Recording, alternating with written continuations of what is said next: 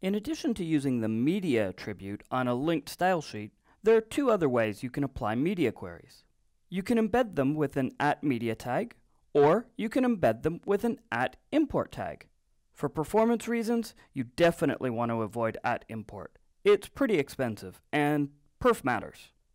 You'll need to weigh the cost between linked CSS and at media. With linked CSS, you've got many small files, but many HTTP requests. Whereas with at media, you've got fewer requests, but the files tend to be a little bit bigger.